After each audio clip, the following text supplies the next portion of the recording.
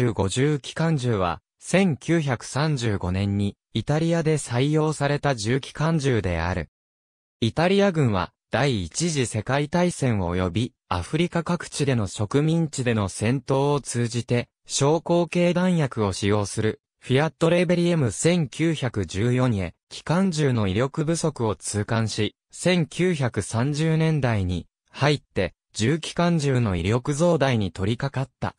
このあたりの事情は日本陸軍と共通する。新重機関銃は 859MRB ブレダ弾を使用する空冷式であることが求められた。試作はブレダとフィアットにオファーされた。フィアットではレベリエム1914の改良型として試作銃を開発1934年に完成した。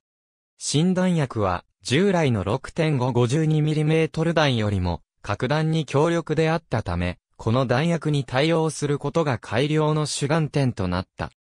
まず、重心交代の際に遅延される、ストレートブローバックなのにディレードブローバックの要素も備えるという変わった作動方式に通常のロックピンが追加され、二段式の遅延機構を備えることで作動の安全を確保した。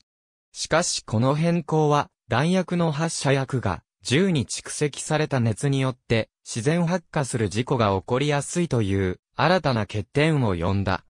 また、弾薬への投油機構が不評であったため、加速中等とテーパードチャンバーを備える代わりに、薬室に溝を切って中等を行いやすくしようとしたが、この対策は十分ではなく、結局後付けで、という装置が追加されることになった。球団機構は M1914 の断層式から通常の非分離式メタルリンク50連ベルトに変更された。このベルトは弾薬をピン代わりとして接続することで100連以上として使用することもできる。交換式の重心と目立つ放熱カバーが外見上最大の特徴だが、M1914 から改造されて製造された一部の銃では水冷飛刀をそのまま備えていた。